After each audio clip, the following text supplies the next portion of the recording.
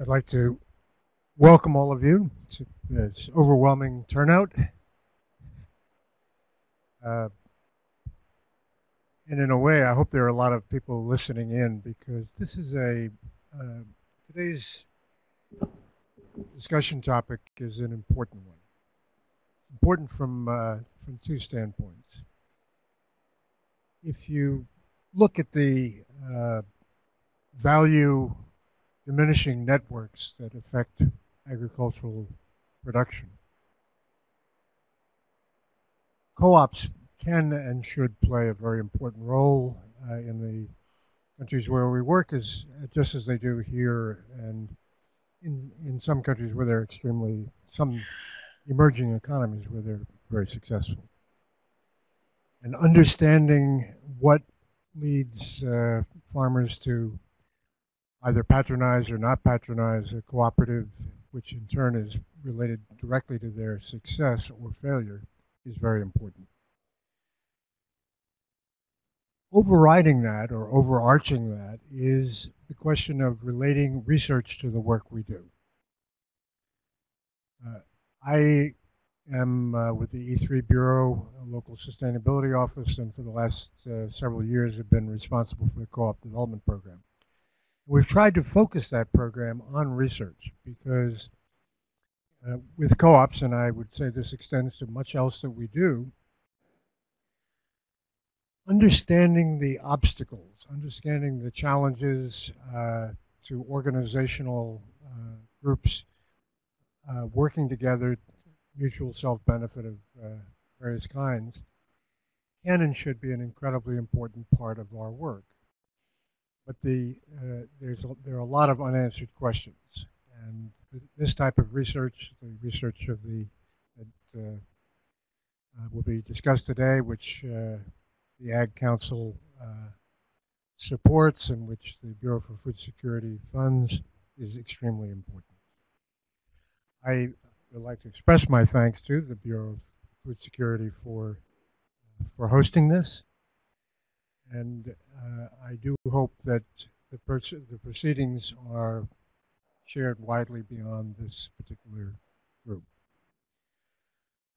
Let me now give you a uh, unpaid commercial announcement for AgriLinks, which is the uh, platform that the Bureau for Food Security uh, uses to uh, encourage the development of ideas and their sharing.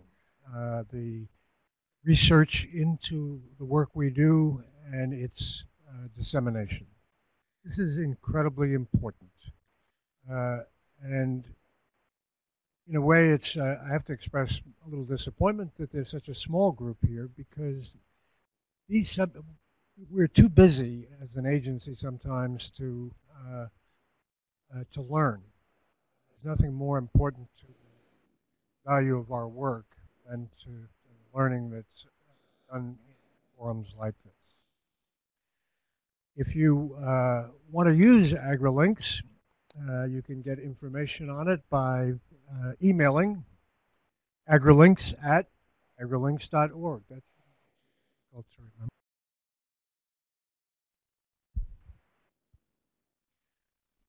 I would uh, now like to introduce our three participants, one of whom is uh, connected to us virtually from England.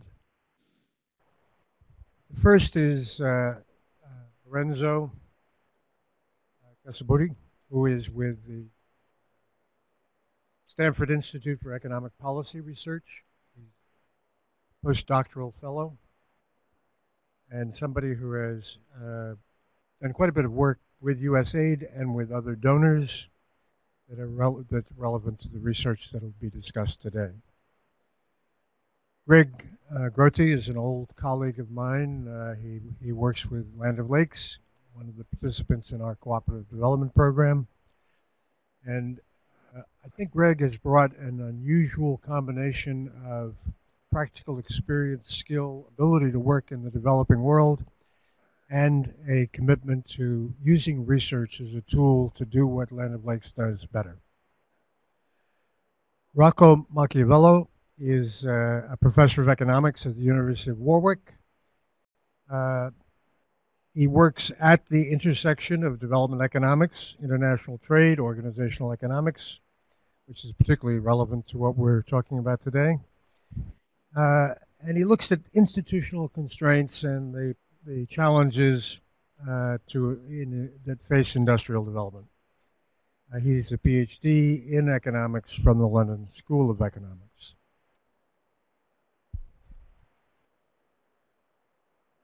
At this point, uh, I'd again stress that I think this is an, a very important subject, both because of the content and because it illustrates the ways in which uh, research can inform practice. Uh, at the at the end, I will facilitate a question and answer period. At this point, Greg, take over.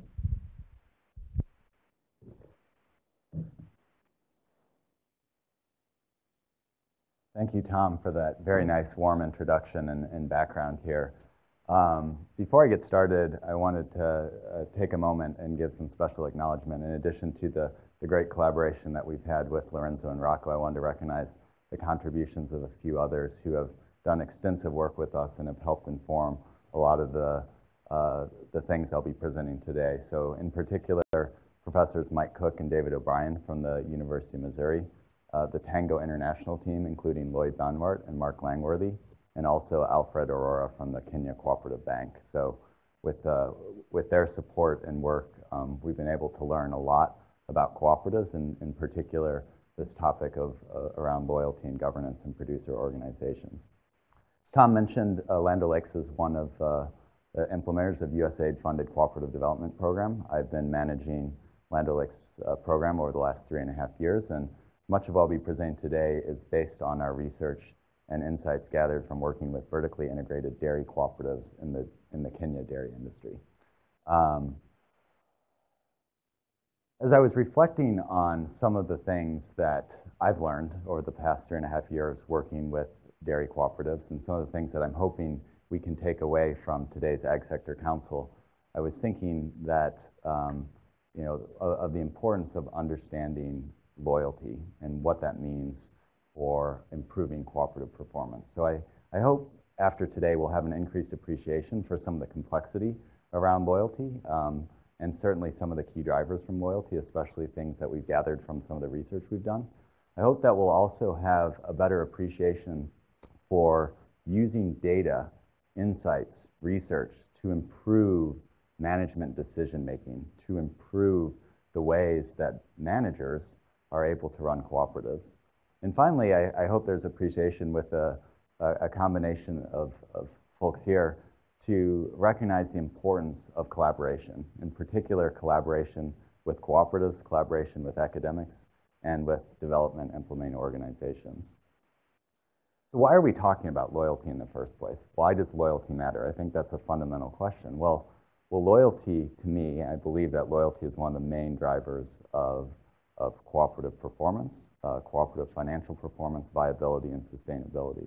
Cooperatives around the world have developed many different mechanisms to deal with the issue of loyalty. Certainly, we see cooperatives, uh, marketing cooperatives, and multi-purpose cooperatives in the United States and other places uh, enter into exclusive contracts with their suppliers and farmers in order to enforce uh, loyalty. In other cases, cooperatives may use uh, more a form of a graduated sanction where members are penalized over time um, when they do not obey by the rules or the bylaws of the, uh, of the cooperative. In other cases, we've seen more flexible arrangements. So experience from the, uh, the dairy industry in India, for example, where uh, cooperatives have set up flexible structures by creating a ratio of required delivery based on differences between the flush season when milk is abundant and the dry season when milk is less abundant, so that farmers can can, uh, are required to give a certain amount, but there's some flexibility built in with that arrangement. But the question arises, what if those types of structures aren't suitable? Either there's not interest from the members and management in the cooperatives to do this, there's not political will, there's other circumstances that are not allowing uh, cooperatives to use more formal means, such as contracts. And so uh, what can we learn about that? Well, this is clearly the case that we've seen in many developing countries worked in, and the Kenya dairy industry is a good example, We've seen uh, membership grow in a number of these dairy cooperatives. We've seen that members value being part of the cooperative, even and members can be loyal to these cooperatives, even though there's not some of these formal mechanisms to do so. So that's what I'd like to discuss a little bit more today, um, and particularly focus on several key drivers for cooperative membership. So um, one of these is good services. And in particular, I'm talking about services that are good value for their money. Um, that's one thing we'll talk about. The second, probably one of the most intuitive to me, is access to markets. I mean, this seems like, you know, this seems like a fundamental reason for the existence of cooperatives and why someone would belong to a cooperative, but I don't want to, to miss that one. The third one, which is a little bit more uh, complex in my mind, is these emotional benefits, let's call them, or associations that individuals have with cooperatives. And so I'll explore that a little bit further with some of the qualitative research we've done there. And then the final is trust in the cooperative, and in particular, trust in the cooperative leadership. So let's dive in. Um, so the first thing we did is we wanted to understand why are farmers members of these cooperatives. So we asked over a thousand farmers um, in Kenya. We focused on two different, what I'll refer to from here on out as, as clusters. Um, basically, cooperatives uh, operating un under one structure in different geographies. We worked in two different regions um, in the country, and I'll refer to them as Cluster A and, and Cluster B. Um, but we asked these, these dairy farmers why uh, they're members or what the value of the membership was. And the first thing, the first thing that came out was that they valued uh, payment delivery, both the timeliness and the convenience of payment. These were the top factors. Services, which I'll lump in several things, including uh, different types of extension, training, access to inputs on credit, exchange visits. These types of things that the cooperative are doing that are service-oriented for the members was a close second. And interestingly, price was dead last. So this was very interesting to me because I think there's often a misconception that farmers are only price sensitive. And if we just move the price a little bit, it's going to change the way that farmers behave or whether they're loyal or not to a cooperative. And I know Lorenzo and Rocco will talk in more detail about some of the, their research and, and findings on this. But I think that's important for us to keep in mind, especially now that we look at non-members. So in the same geographies, farmers, some of them were neighbors with each other, were not members. And so we asked them these same questions. We saw quite a different picture, as you can see. Guess what ranked uh, highest? The reason why they're not members is because of low prices. So the non-members clearly viewed the cooperative in a very different way. They were looking at alternative markets, alternative buyers, and they really put a premium, as you can see, on price. This was by far above the most important thing in their mind um, compared to, to other, other important factors like payments and, and services also referenced here. We wanted to understand a little bit more detail. Okay, so what? So farmers who are members value services. We get that, okay? But what is that doing for them? What is the benefit that's creating? So we took a look at uh, the relationship between services used for farmers and the value that that was creating. And we did this in both clusters, and we actually saw a pretty similar story emerge for both. So this is an example from cluster A. We, we took data in 2011, and then we uh, uh, surveyed the farmers later in 2015. And we saw, interestingly, for those who are using few services, zero or one, they actually had decrease in, in productivity but those who um, used more services had significant increases.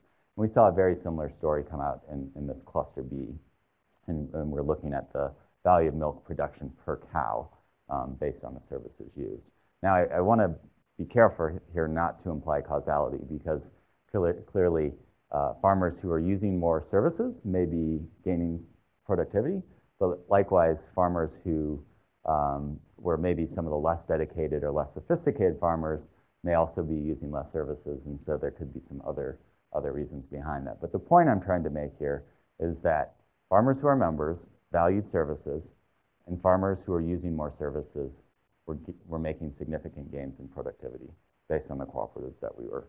So to me, that's value. That's creation of value uh, for the cooperative and, and, a reason why one would be loyal.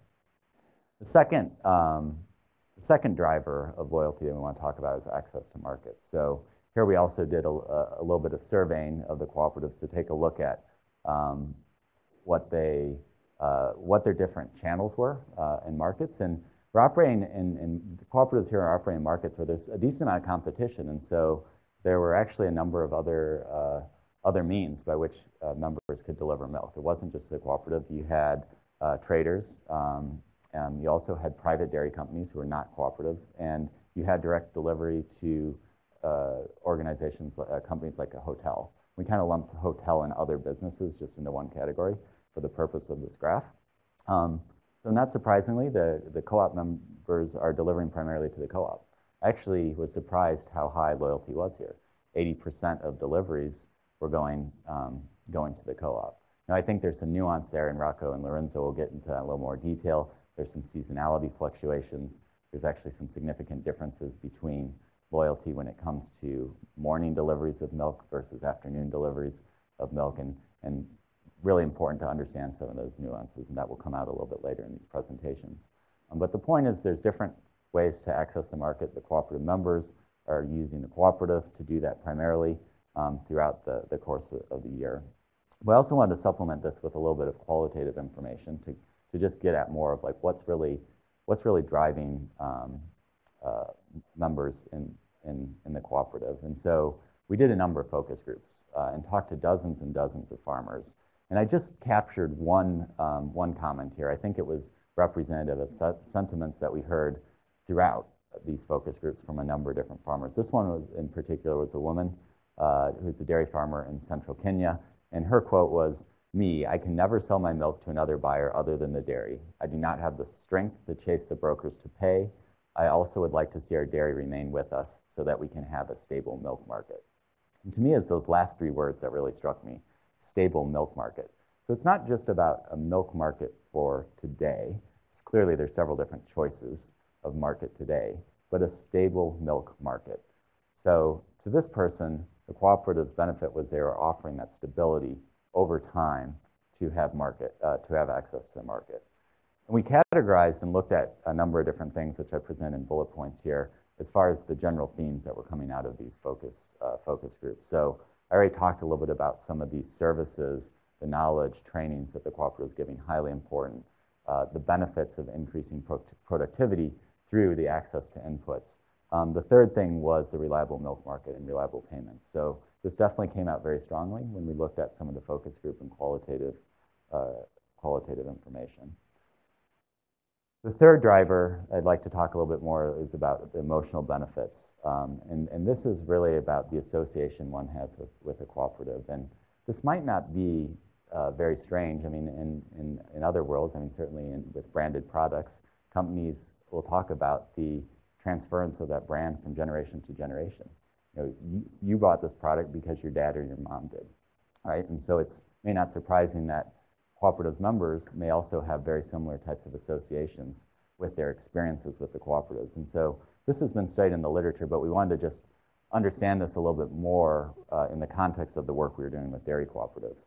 So we first just wanted to assess what does membership actually look like? And interestingly, members of these dairy cooperatives have been members for a long time. You can see the average here is you know, 16, 17 years of tenure with the cooperative. So we're talking about individuals who have been with the cooperative quite a long time on average. And this didn't vary depending on the services that they were using. So some, some members have been there 16 years, were using just a, one, one service, and others were using multiple services there for many years. Um, we took another angle at this through the focus groups and asked uh, members about their sentiments um, as being part of the cooperative. And so I've just chosen a few of these to highlight just as examples, but we saw these throughout. And to me, I'm picking up on some keywords throughout here. So in one case, an individual stated, for over 30 years, I've sold milk to dairy, right? So that tells me long time, really long-standing relationship uh, and, and work with the cooperative.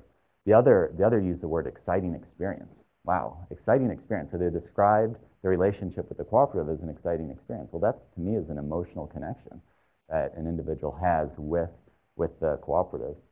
Um, the other one actually talks about an experience they had that wasn't so great, where they actually left the cooperative um, because of some management issues and came back. Yet, despite that, um, they, they talk about how they want to uh, be members forever and will not cease to be.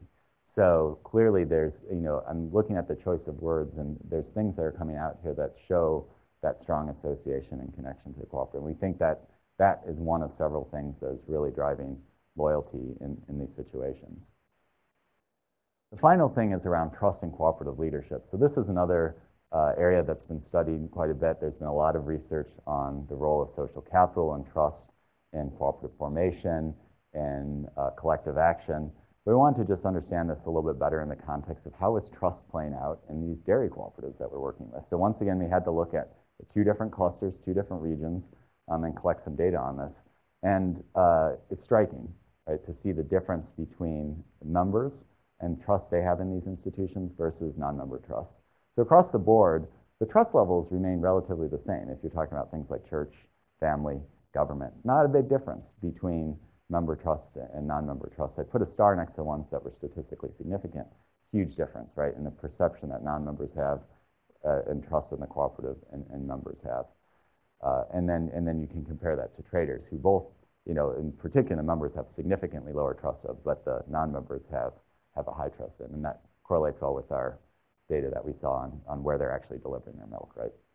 Um, so we, we sliced this a little bit different way and said, well, let's compare the um, levels of trust that, that farmers in these cooperatives have across several different buyers or ways that they could market their milk. And what's interesting here, in both clusters, the traders, uh, um, well, sorry, the trader in, in, in Milkshed B was actually higher than the cooperative, and the private dairy in Milkshed A was higher than the cooperative. So this was actually saying that members trusted an alternative means better than the cooperative in each case. Um, but they also, at least in, in Milkshed A, trusted the cooperative, uh, cooperative more, more than they did in Milkshed B. So what I haven't showed here is a, is a layer on performance of these cooperatives. And so, as you might expect, one of these cooperatives was actually performing quite, quite better than the other, and that was, um, that was in Milkshed A. So the cooperative that had the high levels of trust with the management and with, um, with the cooperative had significantly higher um, levels of performance when we looked at their financial performance um, and, and other metrics. So this just, just highlights again, you know, the difference between the uh, satisfaction levels, um, maybe another angle to trust between high performing and low performing cooperatives that we saw as we, as we applied the financial metrics next to these. And you can see across the board those that were high performing had a much stronger uh, appreciation for the and satisfaction with the cooperative. So before I turn it over to Rocco, um, I know a lot of you are probably asking, well, so what? Like, what does all of this really mean for me? So I'm maybe an implementer, I may be doing something uh, directly working with cooperatives. What can I take away from this? Well, I think a few things. So, and, and, and this is really things that we've been working on in partnership with the cooperatives that we work with, not only in Kenya, but in other other countries around the world is one is, well, I don't expect uh, cooperatives in main developing countries to have the resources to fund this type of research or data collection. The importance of using data to drive management decisions is something we're really, really emphasizing. And you can do that in a fairly simplistic way. So that was one, uh, one key thing that we're, we're focused on. The second is we talked about services and the importance of services to drive loyalty. And so services can be differentiated. We also have to understand from the farmer how are services adding value. So we're spending a lot of time also focusing on how can services be a differentiator combined with some of these other factors that influence loyalty to really uh, improve the performance of the cooperative. Um, so with that, I'll, I'll turn it over to Rocco, who's uh, calling in from the UK, and uh, he will share some of his work from Kenya and, and other countries. Thank you. All right. Uh, thanks, Greg, and um, uh, welcome.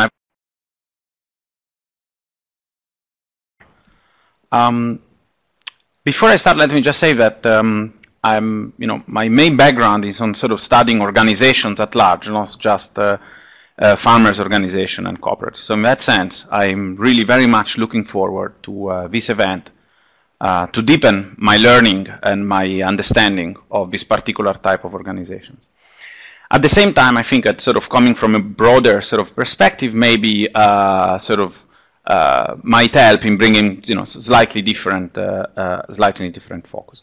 And before I start, I also would like to um, say that you know there are many um, different people that I like to thank for the research that uh, that you know that sort of underlined the, the, the what I'm going to describe.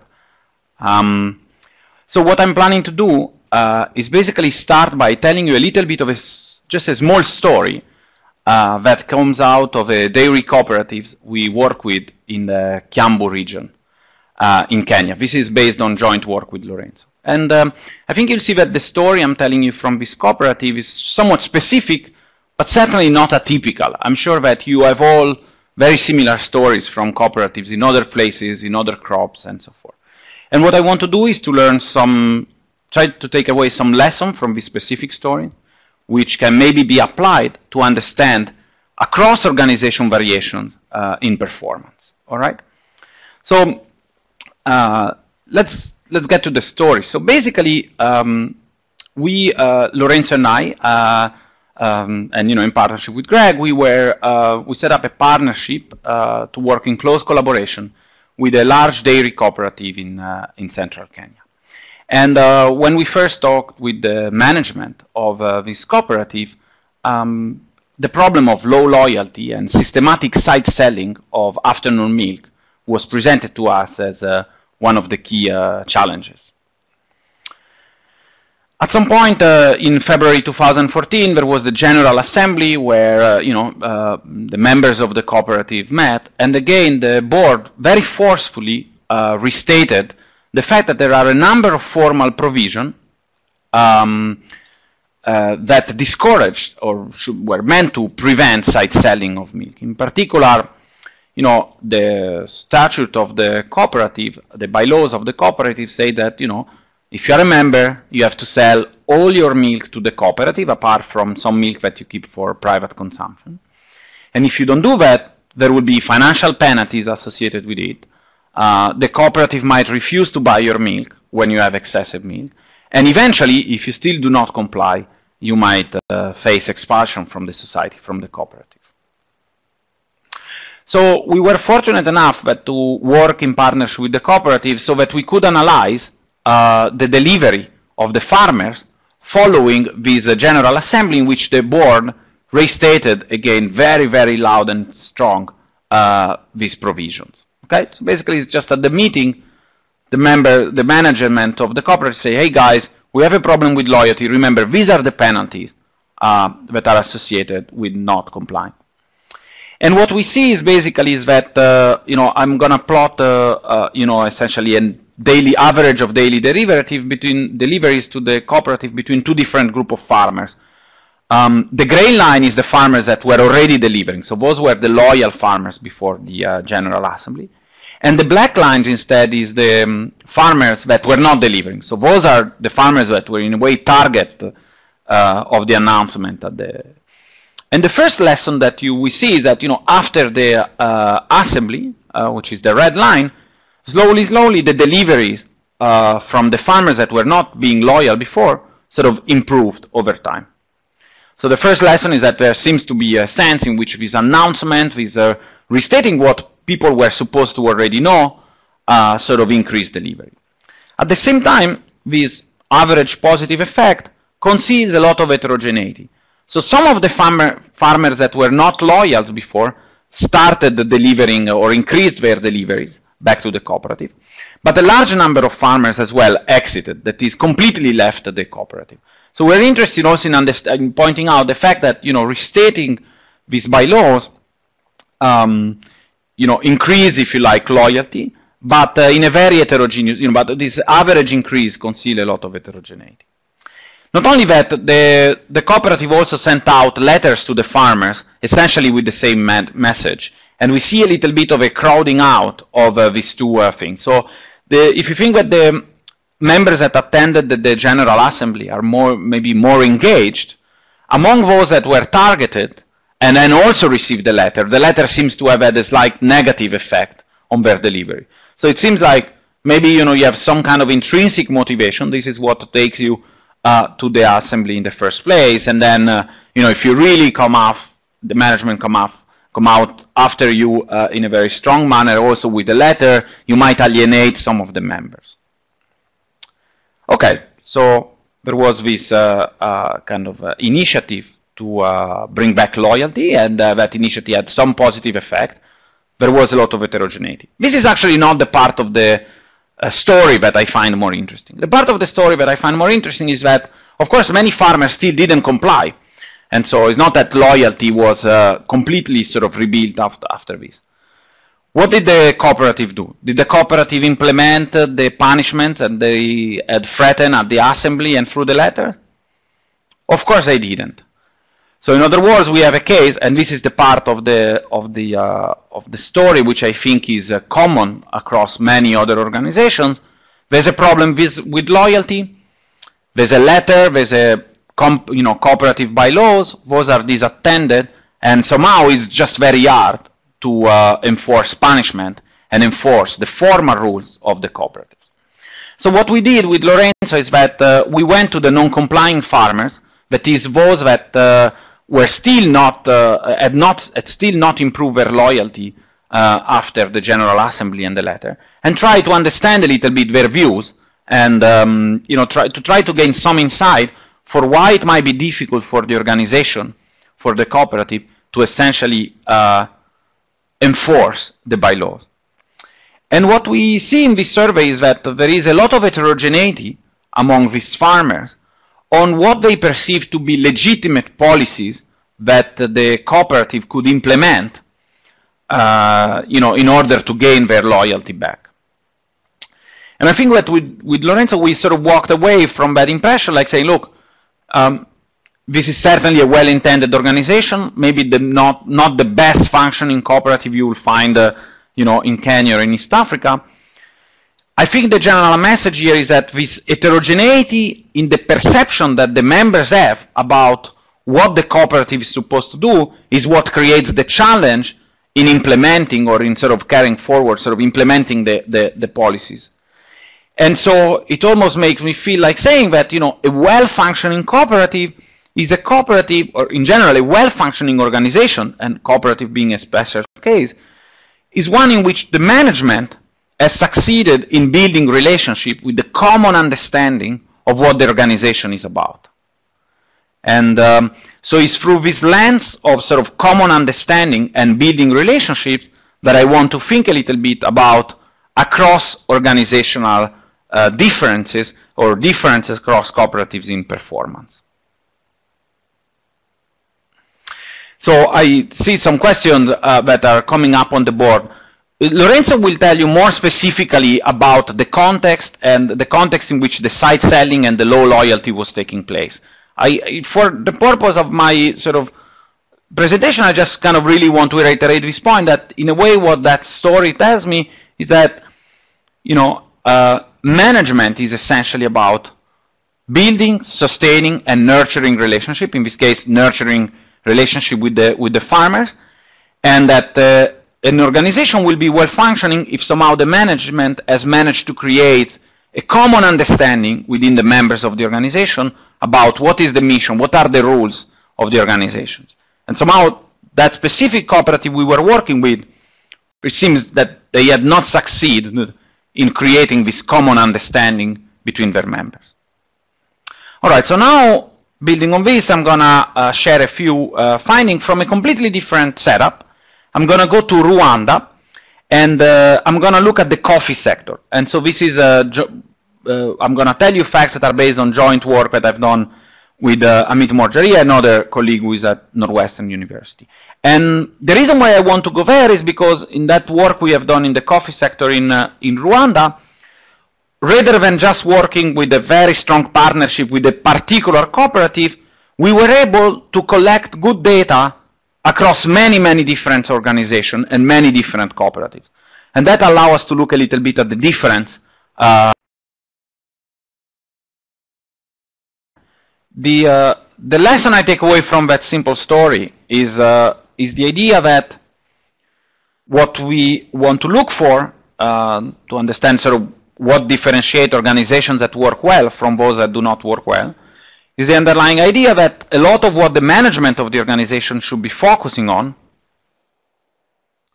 is uh, building, sustaining, and nurturing relationship with the members of the organization. In our case, since we are talking about cooperatives, this will be the farmers. And uh, creating a common understanding about what the organization is about.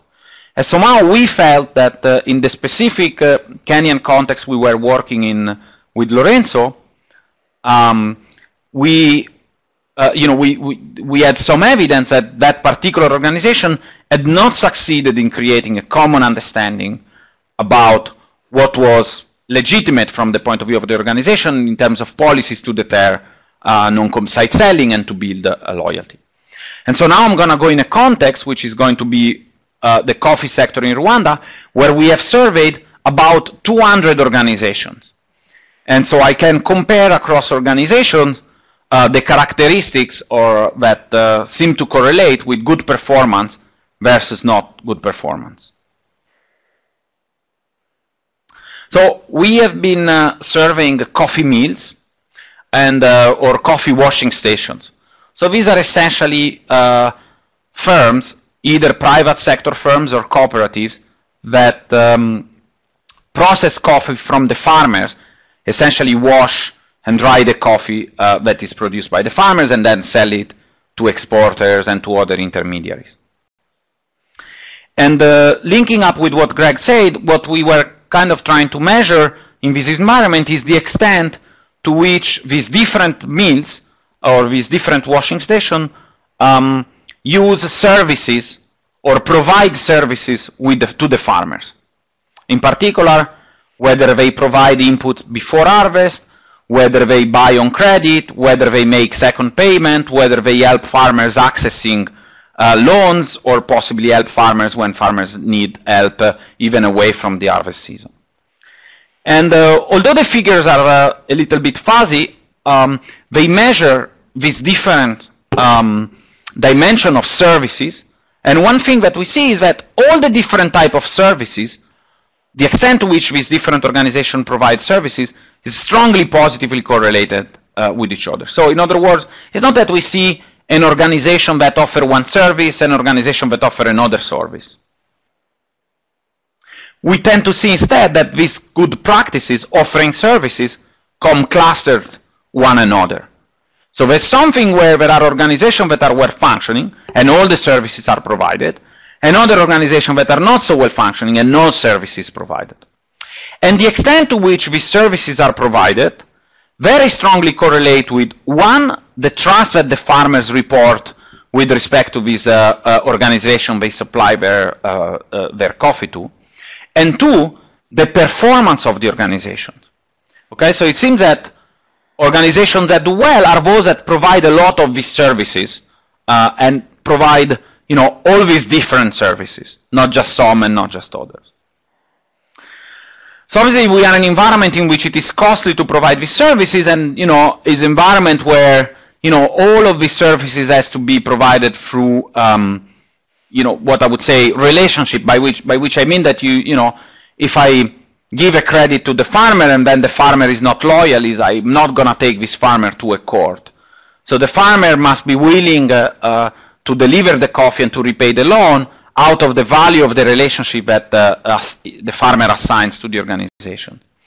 And so one implication of, uh, of such finding is that when we, you know, if the scope of an organization should be to sort of build, sustain, and nurture relationship with farmers, competition from other organizations can make that job harder.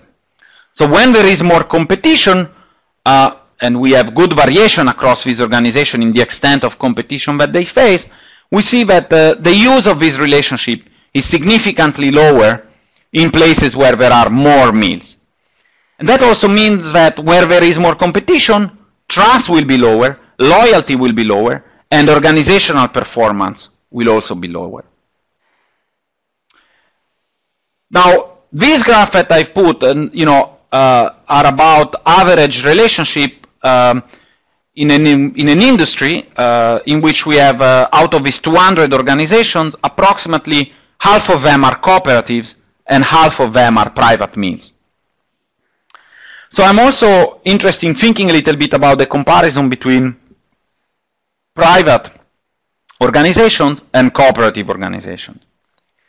What I just told you, the need to build relationship, the fact that this relationship uh, take the form of services, the fact that these services are clustered with each other, and the fact that it is hard to build this relationship where there is more competition, this holds true, is true both for cooperatives and for private organizations.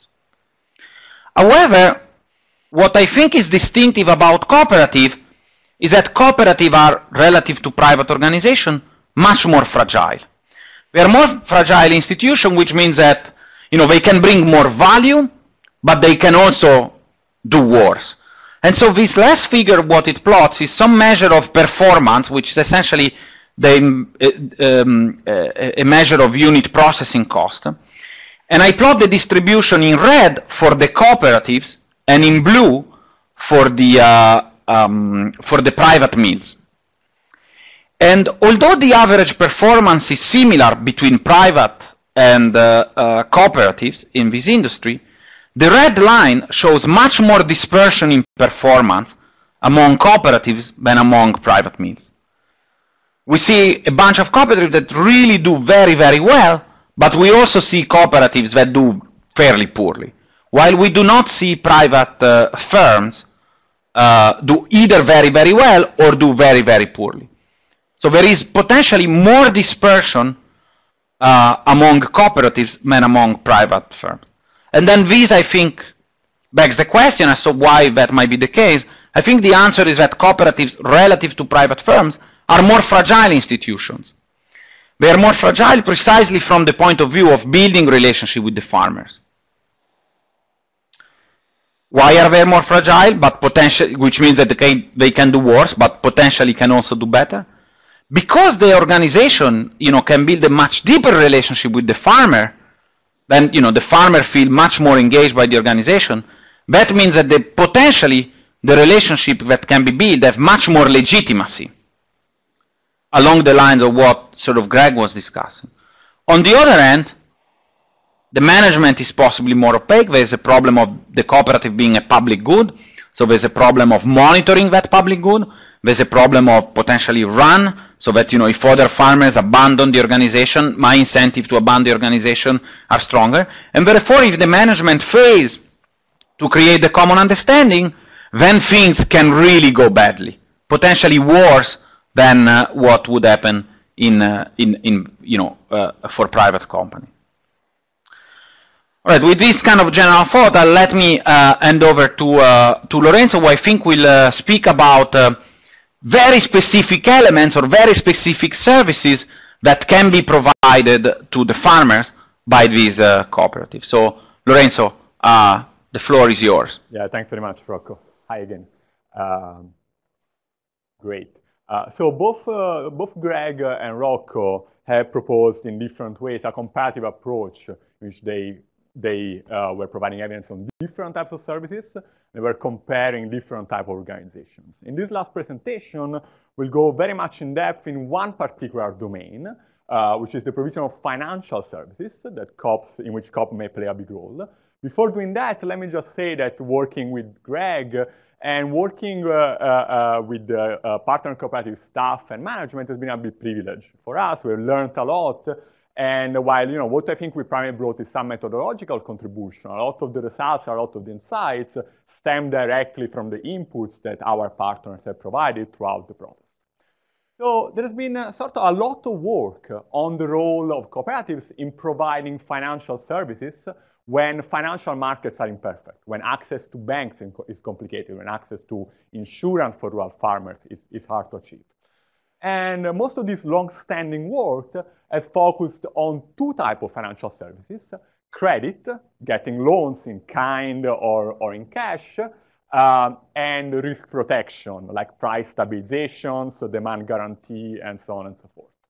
In this research that we have conducted over the past uh, two and a half, two years, um, we focus on a dimension of financial access that is somewhat less understood or less studied, which is access to savings. Okay. Um, over the last few years, there's been growing evidence that difficulties in savings are as important as difficulty in accessing credit to uh, uh, sort of generate investment, growth, and in turn, development broadly, broadly defined. Um, the, in our in initial work, when we started working, one uh, uh, thing that came up a lot was that uh, one service or implicit service that farmers value concern the frequency of the payments that the co-op provides. This is a dairy cooperative, of course. And uh, um, this is a, um, in this type of arrangement, the farmers are paid on a monthly basis. So they sell milk to the, to the co-op every day, actually twice a day, in the morning and the afternoon. Uh, but the co-op, unlike other players, like these other traders that, we, that Greg was hinting at, is basically the only agent that pays on a monthly basis. Okay, so initially, you know, we weren't sure if this was a good or a bad thing from the farm, from the perspective of the farmer. And then uh, from the very you know, initial focus groups that we ran, consistent with some other previous work that was, that was done, we found overwhelming that uh, a lot of the farmers that sell to the co-op value the fact that the co-op can hold the money for the month and credit will pay at the end of the, uh, you know, at the end of the 30 days.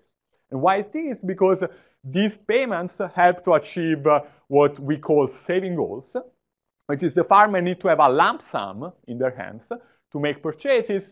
For instance, uh, for the two things that come up a lot are dairy fees uh, and, and school fees. While being paid a small amount every day implies that there is a risk that this money will be wasted, that they will not be uh, uh, able to save it on, on this medium term. So crucially, the co-op has what we could say a competitive advantage in this, in this setting. For the most part, at least in the area we work in, farmers trust the cooperative more than traders. And in particular, they do not trust these itinerant traders to hold the money until the end of the month. They are worried that if they leave the money with the, with the traders, they will run away and never come back. And this relates to some of the points that Greg was mentioning about uh, I, I, don't have the strength to chase, to chase these farmers. And so the, the interesting insight that we hypothesize is that farmers achieve a, a financial portfolio by a portfolio of traders. And in particular, a lot of the farmers in this area sell both to the co-op, and in this way they achieve what we call saving, or they reach their saving goals, but they also obviously need liquidity to buy food every day, and this is what the trader's daily payment provides. So the insight here is that the output market, the buyer-seller relationship, provides an indirect way to achieve a, a balance in financial portfolios for these, for this, uh, uh, for these farmers. So the, as, as, a second step after these initial focus groups, we ran a survey with about 600 farmers that sell both to the traders and to the cooperatives. And what we find, let me not go maybe in detail in each of these uh, uh, points, but that uh, a lot of farmers say about, you know, 80% say that they have saving goals that they are trying to achieve. Again, the, the, kind of thing I want you to think about is, for instance, buying a bag of feed that is worth you know, a couple of weeks of revenues from each cow. Um, and then they mention overwhelming that the co-op helps in reaching these saving goals and that they will reach the goals less if the co-op, for instance, were to pay weekly rather than every month. Okay, so the frequency or the, the low frequency of the co-op payments is reported by the farmers to help them to achieve these saving goals. Um, so why they could be valuable, uh, these, these monthly payments? First, the sort of the underlying hypothesis that farmers have lumpy expenses, and so they will need to get a lump sum to, to make these expenses. The second is that uh, in this, uh, in this form of delayed payment or infrequent payment, money is not accessible. So there is a growing evidence from behavioral literature that a whole set of agents, not just farmers, but uh, uh, small business owners, households, have a demand for commitment devices. They worry that uh, you know if they if they have uh, money in their hands, they will waste it, or maybe my brother will come and will ask me for, to you know to spend the money or something else, and so they value the option to tie their hands, to, to uh, uh, diminish access on a daily basis until this target is, is reached. And uh, this commitment is something that banks are not necessarily in a good, in a good position to provide very often. Uh, we find in local financial institutions that do not provide financial products with this uh, commitment uh, characteristics. And also, you know, in general, banks have very high entry costs for small players. For instance, a lot of the saving accounts that are, that are available in the region have very high deposit requirements that they may not be uh, uh, a good fit for, for small, medium farmers. Okay, so, so the second step of our study was survey. And now I want to also discuss briefly uh, a contribution that I think uh, you know, is, is growing that we are very excited to bring to this specific setting, which is the use of actual experiments to test hypotheses. So there's been a growth in uh, randomized controlled trials to evaluate what can really work and what cannot work uh, in broadening in the, in the developing development aid context. Uh, so in theory, how would we want to test the hypothesis that value, the farmers value infrequent payments? We would want to change the payment frequencies uh, while keeping constant any other characteristic, right? I'm making, I'm hypothesizing that farmers value the co-op in frequent payments, but there are other services that the cooperative may be providing. So I need to be able to disentangle the specific value that farmers attach to these monthly payments from these other benefits that the co-op may be providing. And so in partnership with the management and the staff of the cooperative and with Land O'Lakes, we designed two experiments to exactly elicit this preference for infrequent payments. And so in the first experiment, 100 farmers in this, uh, uh, that sell to this cooperative were offered the opportunity to choose between uh, monthly payments and uh, daily payments. Okay, so at the beginning of the month, we say for the next month, which kind of payment do you want? Do you want to be paid every day or do you want to be paid at the end of the month? And also, for farmers that uh, choose to be paid every single day, they get a 15% price increase in the price per liter of milk. Okay, so we made the option to take daily payments very appealing from a purely price perspective. And this goes back to Greg's initial point, which is, look, maybe prices are not the first order thing or not the only thing that farmers follow.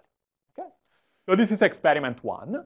And in experiment two, we, we design a slightly more sophisticated contract, which we call a flexibility option. So in the flexibility option that we offer to another sample farmers, basically the farmers in any single day, they can decide if they want to cash the amount for that specific day. And they can do as many times as they want. They can do that every single day, or they can do that one day, or they can do that never. Okay?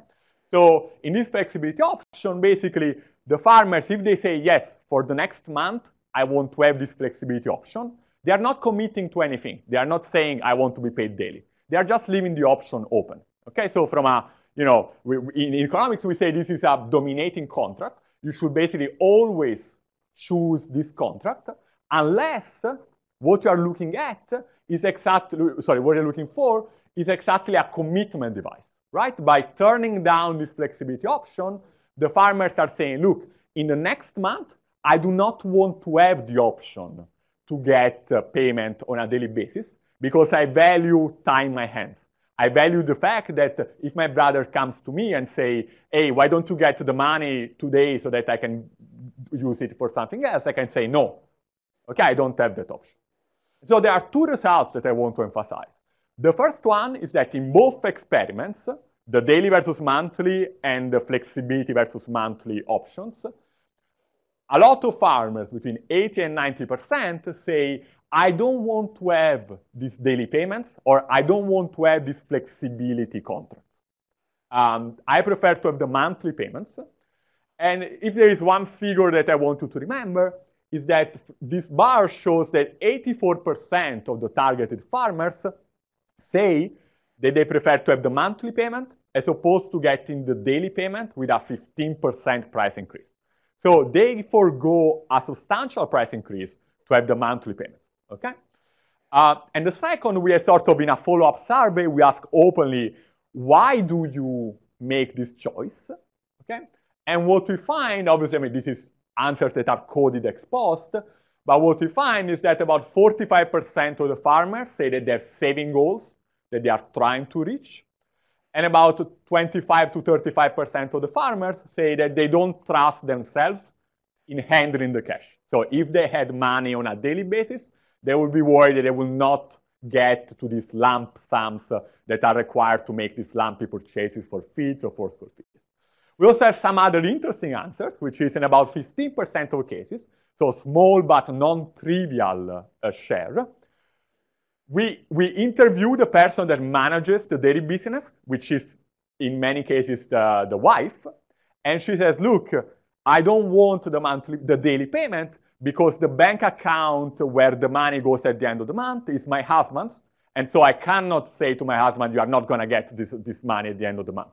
Okay, so the, the, the, the wife says, my husband wants the money on the bank account at the end of the month, so I can't take, I cannot take daily payment. Okay, so it's a different explanation. It's a bit outside of our main mechanism, but nevertheless, it's relevant for a 15% uh, uh, of the farmers. So these results, these experimental results, show consistent with the survey evidence that farmers have a strong preference for infrequent payments and uh, uh, that this preference is on the top of benefits, other benefits that the co-op may be providing. And indeed, um, uh, once we, in, in this survey, we also asked questions about traders, one thing that we find is that the majority of farmers say that they trust traders less than the co-op and that they will never uh, um, want the traders to pay on a lower frequency basis, like to pay monthly rather than daily, because they are worried that the traders would escape if they were holding money of the farmers for a, for a long period of time. So in general, farmers do not trust traders and do not want them to pay monthly. And this heterogeneity in credibility, in trust, generates a competitive advantage in the co-op in this financial service provision. Uh, one figure I don't have here is also that we also interviewed some, some farmers that do not sell to the co-op. And what we find is that uh, farmers that say that they sell to the co-op are more likely to state that they are trying to save, and they are more likely to say that they reach their saving goals, consistent with the idea that the co-op does play a role in this setting in achieving financial, financial goals.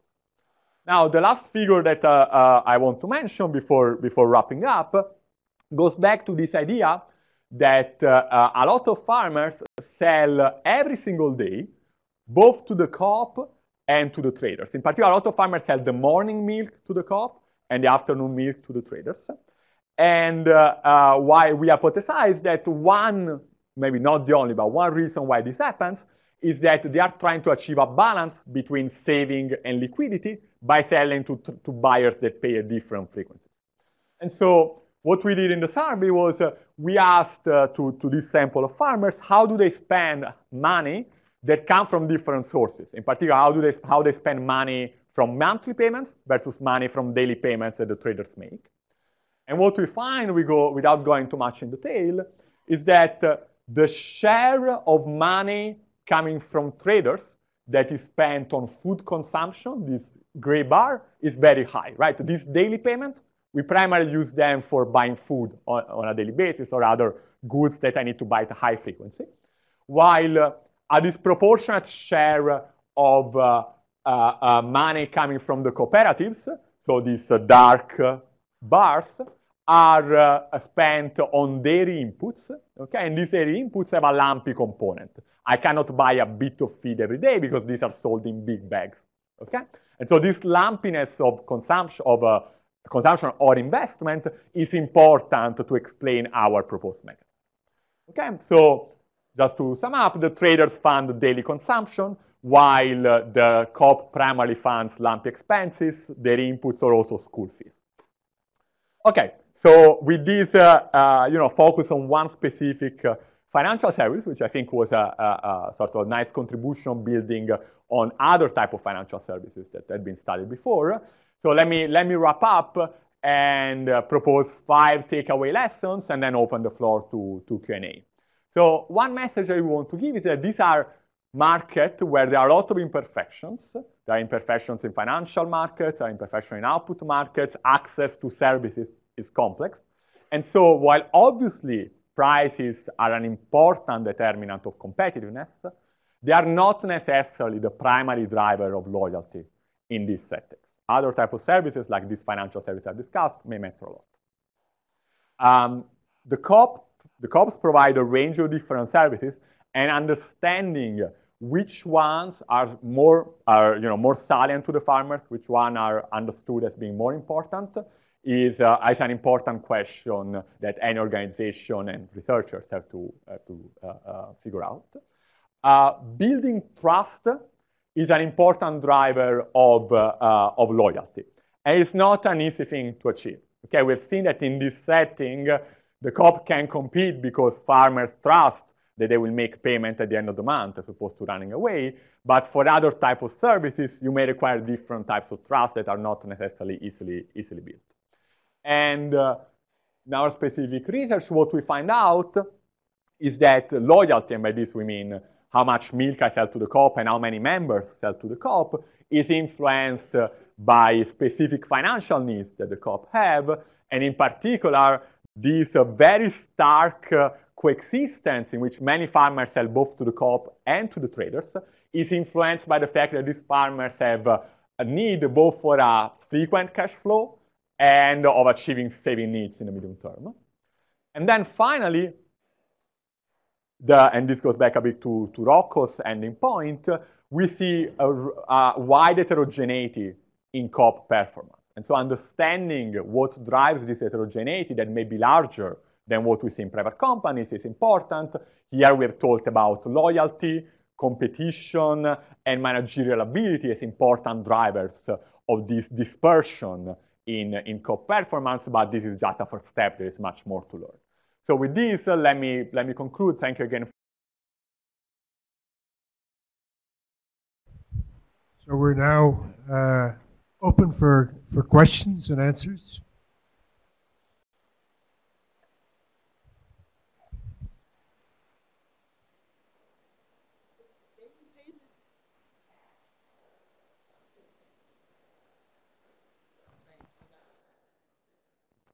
Yeah. So the daily payments are mostly done in cash or through mobile money, like M-Pesa. Yeah. Yeah. Uh, so definitely the fact that the co-op makes a direct deposit into the bank helps. Um, so that's one element of the frequency of payments that matters. But to some extent, the second experiment also shows that the fact that the money is withheld, so the commitment component also plays a role. So it's not just the transaction cost side, but also this commitment component. understood. So it, it, it does influence preference if, mm-hmm. if the daily payment because the money isn't available to save, but there's still a strong preference for the infrequent payment. Exactly, exactly. Thank you. This is a question um, that came up during Rocco's presentation. So um, perhaps Rocco will want to chime in, but you can chime in as well. Kind of a, a start question about um, private service providers. If cooperatives are struggling, why not simply put the emphasis on private service providers? If a cooperative collapses, won't the private service providers take over?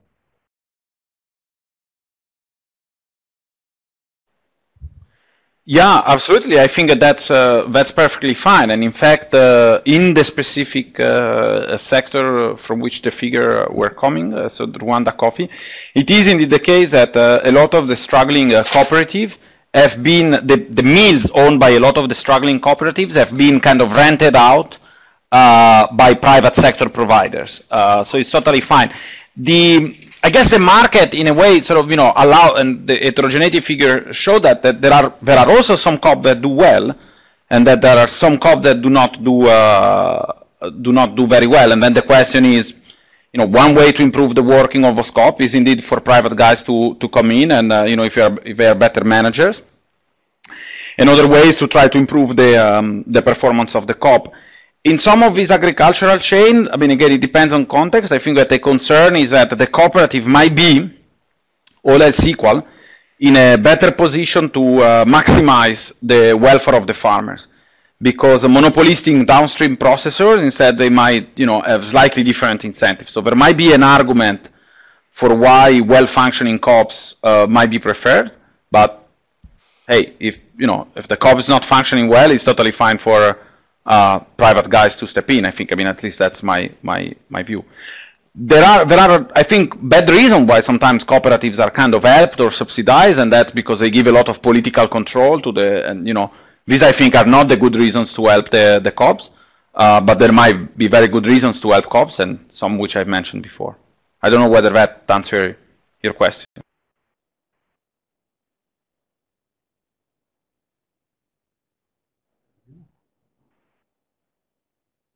No, I mean, I guess the thing I would add to what Rocco has said, and I think what came out from his his research is, you know, the, the fact that in, in this particular industry, there, there's a mix.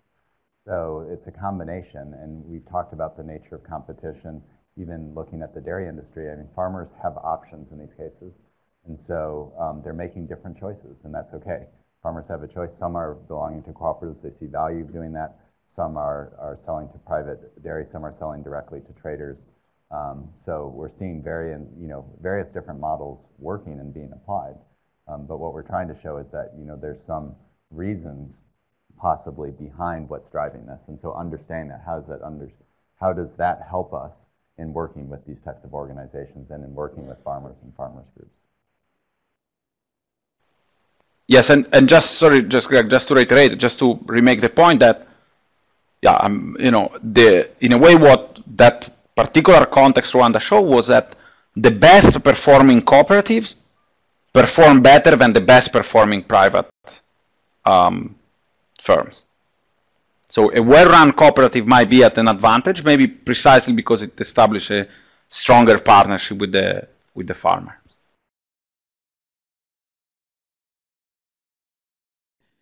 As the woman said in the quote, making sure that there's a future market for the product important as well. Did your study look at those types of things? Uh, Not not explicitly in uh, in these studies that, uh, that were presented, but uh, obviously we completely agree that uh, uh, historically the, the marketing role of the co-ops has been and today is, is still very important. Though I think that in understanding the relevance of, uh, at least for the Kenya dairy sector, one also has to take into account that the sector is probably more competitive than it used to be. And so maybe this marketing role does not necessarily play such a strong role as, as 10 or 15 years ago.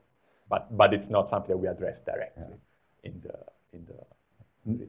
We didn't direct, uh, directly ask the question either, but I think it's an interesting nuance to the access to market piece and um, you know some reasons behind that. I think intuitively that I think anecdotally that's what we're seeing, um, and maybe there's an opportunity to, to dive into that a little bit more. So it's a very good point. Thank you.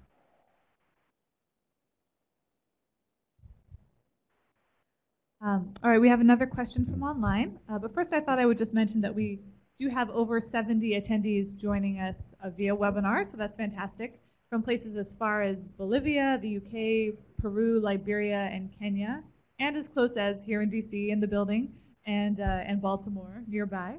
So um, just wanted to, to let you all know that we do have a, a strong online audience. And this is a question from, scrolling up here.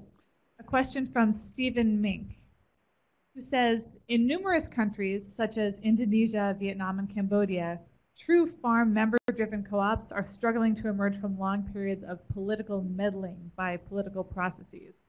And trust has to do with overcoming the resulting memories of, of farmers that political forces have distorted many decisions in the cooperatives. Your research base does not really speak to this context, but do you have any observations on countries that have done a better job of transitioning uh, from periods of such political interference in cooperative governments to a healthier member accountable cooperative leadership? That, that's, a, that's a question that we could spend a whole separate ag sector council on, um, so thanks for raising it. Uh, I'll just speak from our experience working with in the dairy sector in Kenya, for example. And I think one of the interesting uh, things about the cooperatives we've been working with is that they've been around for a very long time. So I talked about the average tenure of membership, that these cooperatives have gone through a number of different iterations over decades of time. And so one of the important things that uh, we've worked with them on is, is recognizing how to overcome these challenges, because these challenges of political interference are not unique to the developing world. We've gone through them on our own soil um, as, as cooperatives have evolved. And so uh, the confidence to be able to directly address those, to be able to advocate, is, um, is really crucial. And in, in many cases, they've, they've done this. I think I pulled up a quote from one of the uh, co-op farmers in that focus group talking about how they actually exited the cooperative because of uh, some of the governance and leadership challenges. And then yet remained and came back. And so there's examples of where a dedicated membership, one that has some governance structure, can help overcome some of the, the different challenges they face. Um, so one, um, this is not something that we have addressed directly in the research, but I think that uh, in terms of future uh, uh, research endeavors, it would be very important um, to map and to collect data on political uh, power turnover within the co-ops. To which extent we see management changing? To which extent we see board members changing? Uh, do members expect uh, that uh, them or somebody else in their family could take a lead role in the co-ops in a few years? Uh, we did a bit of uh, this preliminary data collection in our survey, though it, it wasn't the focus.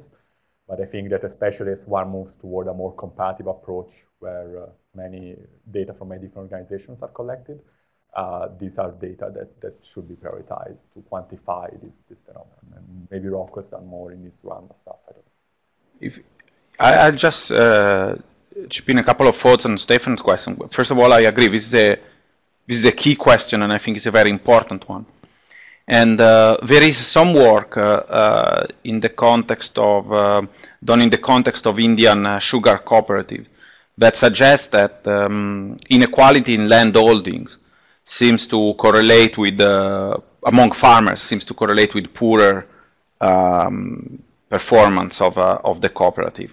And this is basically because you know if you have a cooperative that is dominated by a few large uh, farmers, uh, those guys will have might end up having uh, an easier time, essentially, in diverting resources away from the cooperatives towards their private benefit. And you know this can happen paradoxically uh, through the provision of services that uh, benefit disproportionately larger farmers. Okay, so this I think puts a um, and you know, to the extent that sort of some of historical legacy maps into this inequality, I think that, that could be a determinant.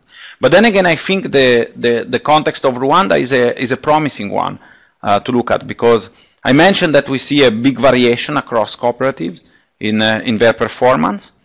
And obviously, the recent history uh, of, uh, of Rwanda uh, is, a, is a, you know, it, it, it has been tarred by, by very negative events that have potentially had very negative consequences on uh, the general level of trust and the level of trust on um, in, in, in those that hold power at the local level. And yet we see that in that environment, uh, some cooperatives are really thriving and doing very well. Now, maybe this is just a, you know, in the micro, an illustration of the, you know, kind of the broader transformation that is happening in that country. But it does also suggest that there might be scope for overcoming uh, very negative legacies. But I wouldn't know how that can be achieved or you know who has achieved it and how, how the people that has achieved it are different from those who didn't. So I think it's a great question. Great, thank you. And we have another in-room question. Is there any correlation between the size of the farmers uh, in terms of uh, the amount of the milk delivery delivered and uh, who sell their milk to the um, cooperative and to the private traders. There is any correlation between that? Yeah. So uh, that's something we look at uh, in one of the surveys. We collected a random sample of farmers, regardless of you know who they were selling to, and from that we see that in, in our setting in Kiambu in, in central Kenya, uh, farmers that are selling to the crop are slightly larger. These are all very small farmers, so the number of cows is between one and three. And I think farmers selling to the co-op are something like uh, 2.7 versus 2.3 uh, um, cows, so small but significant difference. Now, we don't have evidence for that, but that's consistent with the fact that uh, if the co-op's uh, payments help to save, you will build up your, your stock of cows. Obviously, I don't have any you know, direct evidence to validate one hypothesis.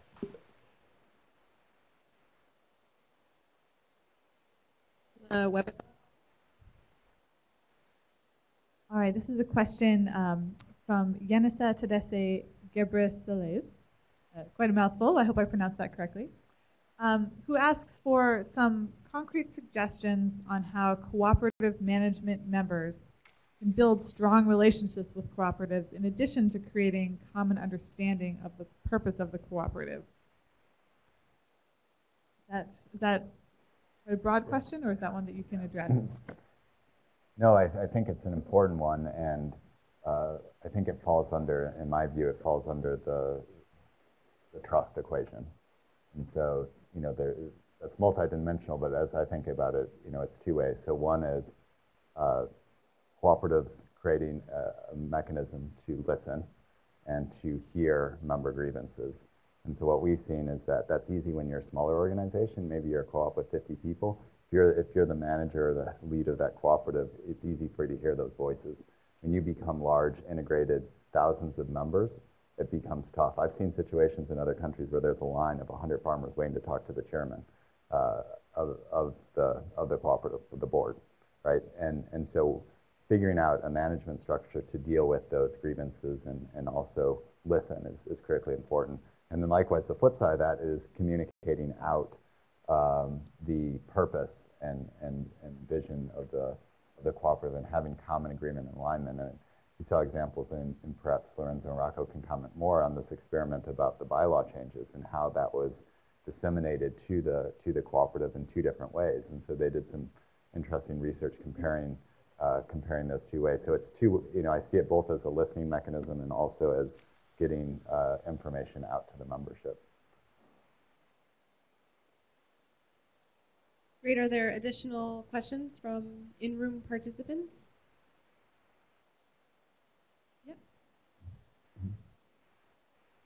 I have a very broad, big picture question. Um, it doesn't directly correlate to your research, but I'm just curious. Um, a lot of us on the implementation side are tasked with um, very concrete indicators on capacity building of um, farmer-based organizations and co-ops. How how can we uh, pitch or convince donors that it's important to also measure feelings of trust and loyalty and um, how that can be an indicator of success. You want to answer it? I wish I could. Uh, what you what you focused on is critically important, and it's something that uh, I wish we could convince uh, those responsible to look at the types of indicators that uh, are correlated with the long-term success rather than the short-term performance of these types of institutions. Uh, we are, we, our office separately is working with a program uh, called Local Works, and we are going to be proposing uh, indicators or using indicators actually that are quite different than the norm. We'll be looking at uh, the uh, something very similar to, to this research. We'll be looking at uh, the net promoter score of the uh, of uh, of organizations that serve constituents. We'll be looking at uh, the any movement in the hubs of, of networks from external to internal resources, and we'll be looking at changes in social capital indices over time. Uh, but we have the luxury of about a 10-year program, so it's, uh, it's something that uh, these types of measures can be defended. Uh, but I, I, think really the, the responsibility for this type of change rests in the people in this room and the people on the, on the webinar.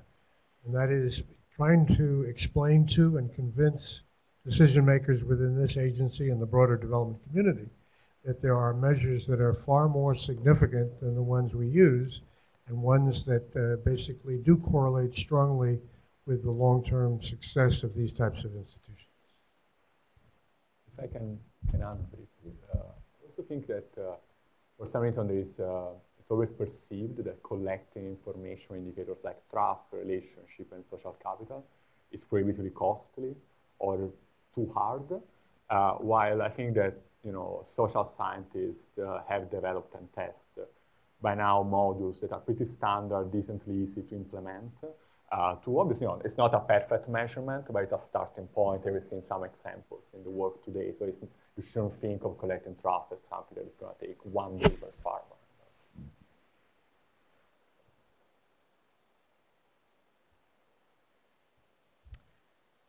Um, all right, just a couple of quick clarifying questions. Um, about the the research in Kenya. Um, one was what criteria did you use to choose the farmers for the study? And also a clarification about what percentage of the beneficiary pool were members versus non-members in the dairy cooperatives in Kenya.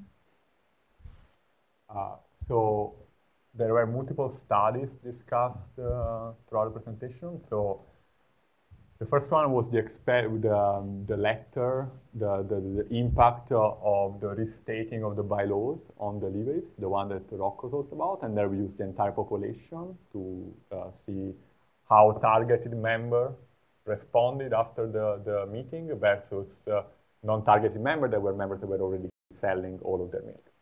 Uh, then for our studies, we had a random sample, we basically random samples, and depending on the specific component, it was a random sample of all the members for the experiments, random sample of the members selling both to the co-op and to the traders for some of the survey questions, and then um, for uh, the brief survey in which we compared members and non-members, it was just a random sample of the farmers in the areas.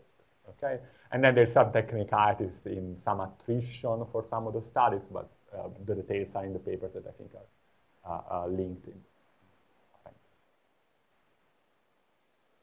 Answering those clarifying questions and for the big picture questions that were asked. Um, given time, we'll go ahead and wrap up with some final words from Tom.